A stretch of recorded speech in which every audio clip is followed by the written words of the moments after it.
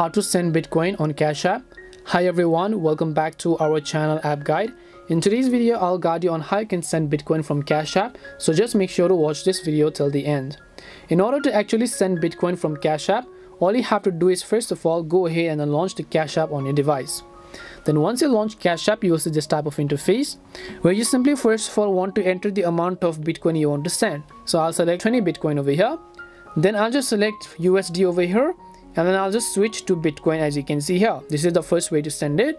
Before you want to send Bitcoin, you must first have Bitcoin and if you don't have Bitcoin, you can buy Bitcoin of course. So you can select buy Bitcoin and in order to buy Bitcoin, by the way, you need to verify your identity. So just make sure to verify your identity and then you do everything. Once you've done that, you can repeat the process from here or you can come back to this page and then you'll find the option called bitcoin and so on you can go to buy bitcoin and then you can simply send bitcoin in that way by entering the amount and then selecting bitcoin over here and then sending them respectively.